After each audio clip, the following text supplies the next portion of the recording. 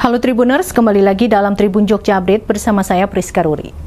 Pipa PDAM Tirta Wening yang memasok air bagi puluhan ribu warga di kota Bandung pecah di wilayah Kiara Condong pada Rabu 5 Juni 2024 sore kemarin. Direktur Perumda Tirta Wening, Sony Salimi mengatakan bahwa berdasarkan analisa awal, pipa tersebut pecah diduga tak mampu menahan tekanan berat karena jalan di atasnya kerap dilalui kendaraan bertonase tinggi. Akibat pecahnya pipa tersebut, pasokan air bagi setidaknya 90 ribu rumah di kota Bandung akan terganggu selama beberapa hari ke depan.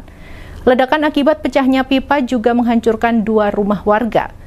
Bambang Suhermanto, salah satu yang rumahnya ambruk, mengungkapkan bahwa peristiwa itu menimbulkan suara kencang seperti ledakan sebanyak dua kali. Sejurus kemudian, air mancur hingga setinggi 2 meter dari area pipa yang bocor hingga mengenangi kawasan sekitar. Bersamaan dengan itu pula rumah Bambang dan rumah seorang tetangganya langsung ambruk. Dia pun langsung berlari menyelamatkan diri tanpa sempat menyelamatkan barang-barang berharganya. Kini Bambang, istrinya, dan dua anaknya terpaksa harus mengungsi di rumah saudaranya.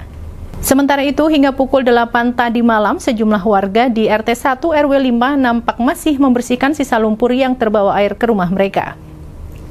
Demikian berita terkini terkait pipa PDAM di Bandung yang pecah hingga hancurkan dua rumah warga.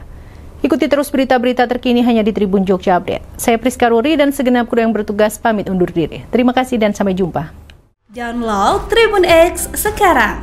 Menghadirkan lokal menjadi Indonesia.